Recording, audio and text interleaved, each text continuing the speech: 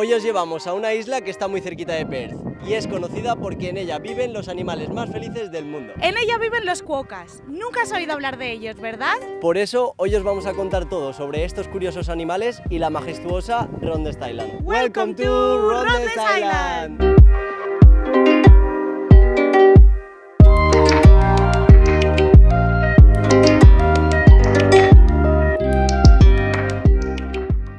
Hola a todos a nuestro canal Viajando Voy. Como hoy teníamos el día libre, hemos decidido venir a descubrir la isla de Rodnes, por fin, después de tanto tiempo queriendo venir, y no nos podíamos ir de Perth, obviamente, sin haber visitado esta isla tan maravillosa y que es tan bonita. Así que vamos a descubrirla.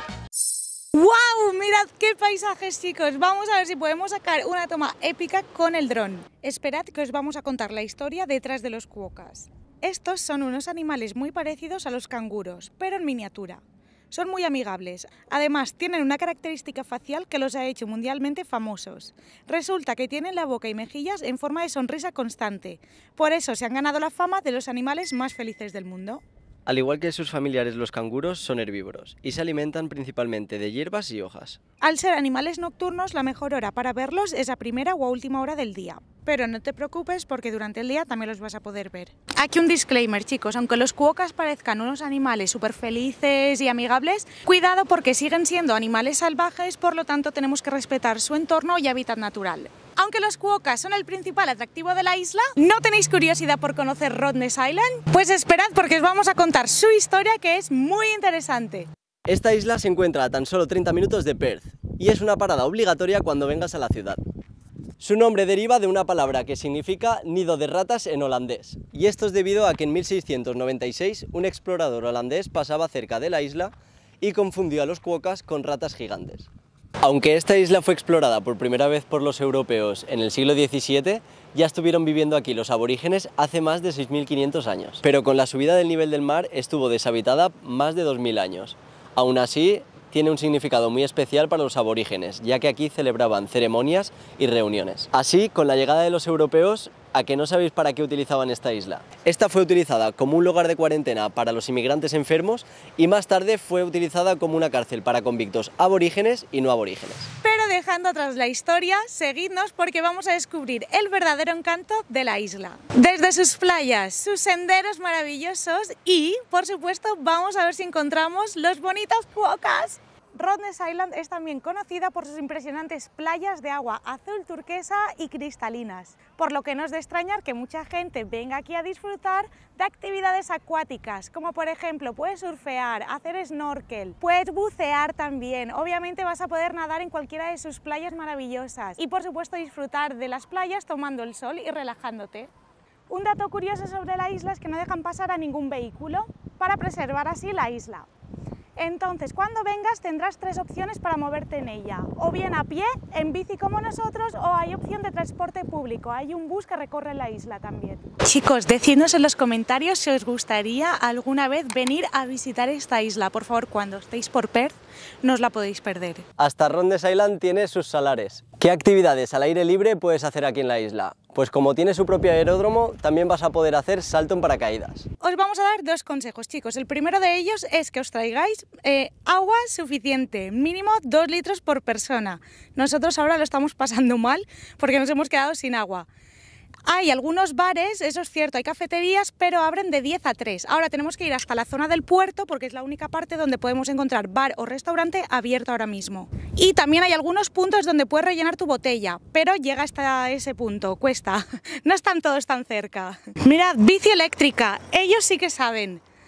Chicos, hay muchas cuestas, entonces nosotros no llevamos bici eléctrica y en las subidas lo estamos pasando mal, entre comillas, que no es para tanto, pero súmale que hace un calor intenso, yo ya me he quemado y lo ideal sería que alquilarais una bici eléctrica para aprovechar el tiempo también, porque es enorme esta isla, no sabíamos que era tan grande. Y aquí vamos con estas bicicletillas, que bueno, nos están salvando, pero... ¿Cuánto nos han costado estas bicis? Pues bien, a nosotros en el puerto de Perth nos han costado 35 dólares cada uno. Las eléctricas sería el doble, es decir, unos 70 dólares. También puedes alquilar las bicis aquí en la propia isla. Para llegar a la isla, la única opción que vas a tener es el ferry, aunque es cierto que hay varias compañías las que operan. Las tres compañías de ferry que nosotros hemos encontrado son Rodney's Fast Ferries, Rodney's Express y Sealing Ferries. La que nosotros hemos tomado es la de Fast Ferries, ¿no? Sí, hombre, hombre. Y la verdad es que me he mareado. Hemos tenido mala experiencia en el trayecto. De, Yo no sé por qué. El aire no estaba muy alto, el aire acondicionado, con lo cual estábamos sudando y yo estaba súper mareada. Y él en- también. En la parte donde estábamos sentados. Sí, Las y olas se notaban muchísimo. se notaban mucho las olas y yo he terminado en el baño vomitando. Pero bueno, no pasa nada, cositas del Todo barco. bien, todo bien. El ferry lo vas a poder coger desde tres sitios diferentes, o bien desde Fremantle, desde Perth o desde Hillary Harbour, o el puerto de Hillary. Entonces, dependiendo del lugar donde lo cojas y el horario, va a oscilar el precio del ferry desde 50 dólares hasta 100 dólares. Claro, hay que tener en cuenta que en este precio también incluye una tarifa de 20 dólares por eh, acceder a la isla. O sea que hay que pagar, ¿no? Una Claro, fee. sí. O sea, si te cuesta 80, pues que sepas que en realidad el, el trayecto te ha costado 60, pero los 20 extras son de...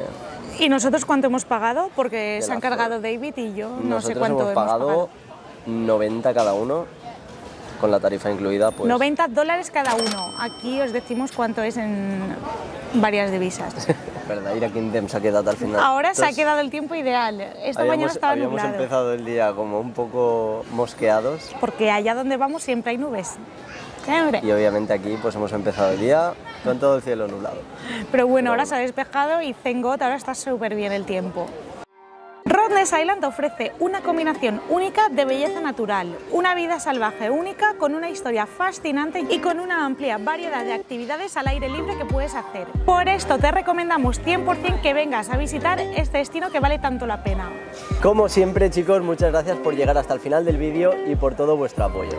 Si te ha gustado el vídeo, danos un buen like, suscríbete si todavía no lo estás y recuerda compartirlo con aquella persona que se esté planteando venir aquí a Perth de viaje o a vivir. Déjanos también un comentario diciéndonos qué te ha parecido la isla. Nos vemos la semana que viene con un nuevo vídeo y con nuevas aventuras, porque nos vamos a Northern Territory. Eh, que nos vamos ya, nos quedan dos días solo en Perth. Vamos a aprovecharlos a saco. Chao. Chao. Hay muchos marshflies, las odio. Son un asco. Los micrófonos, Un, dos. los micrófonos, Na, na, na. los micrófonos. Me he quemado, me duelen. No te muevas, Nadia, no te muevas.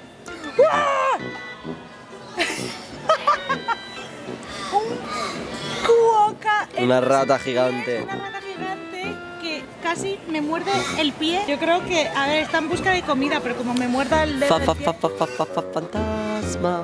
Oh, qué moni. Sí, dileis que te van Facinefa. Les neurones estan frites. Dissimula, xiqui, que t'he visto. Que has de prendre el cuc. Que se llama Hillary... ¿Hillary qué? Harbor, bebé. Hillary Puerto de Hillary.